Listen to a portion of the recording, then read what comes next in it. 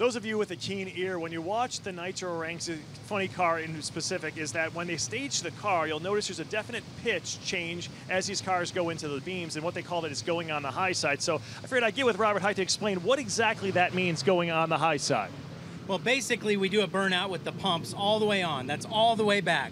After we do the burnout, I go to a detent, and it, it takes about two gallons per minute out of it at idle.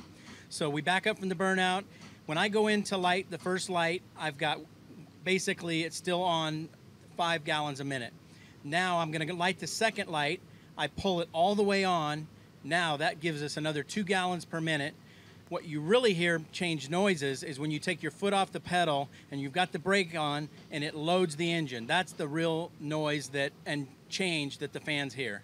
So when you're hearing that noise change, you know that this thing is loaded up and ready to rock. There's enough fuel to feed this beast to 11,000 horsepower. And at that moment, that guy starts to smile.